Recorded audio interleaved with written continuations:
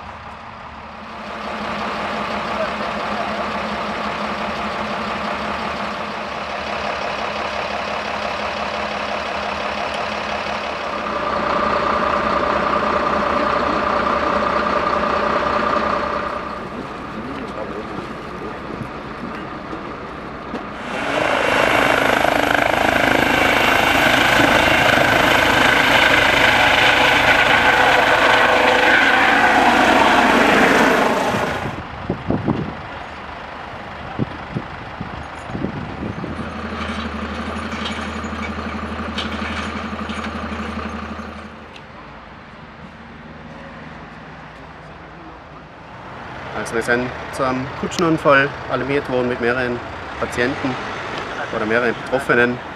Ähm, und es waren dann insgesamt neun Verletzte zu versorgen, ähm, die dann mit zwei Hubschraubern, mit zwei Rettungstransportfahrzeugen äh, abtransportiert worden sind. Es waren zusätzlich noch zwei Notärzte bodengebunden vor Ort und ja, Einsatzleiter.